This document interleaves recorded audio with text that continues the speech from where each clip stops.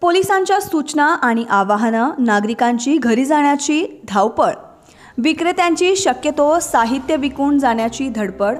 तुरळक प्रमाणात सुरू असलेल्या बस आणि ठिकठिकाणी वीकेंड कर्फ्यूची चर्चा. असे चित्र शुक्रवारी रात्री पाहायला मिळाले आहे. पोलीस आणि प्रशासनाने वीकेंड कर्फ्यूची पूर्ण तयारी करून सर्वत्र बंदोबस्तासाठी शुक्रवारी संध्याकाळपासूनच सुरुवात केली. पोलीस प्रशासनाने महत्त्वाच्या वर्दळीच्या रस्त्यांवर बॅरिकेड्सही लावून ठेवले होते. कोरोना आणि त्यानंतर नव्याने डोके वर काढलेल्या ओमिक्रॉनमुळे खबरदारीचा उपाय म्हणून तसेच संसर्ग रोखण्यासाठी प्रशासनाने वीकेंड कर्फ्यू जारी केला.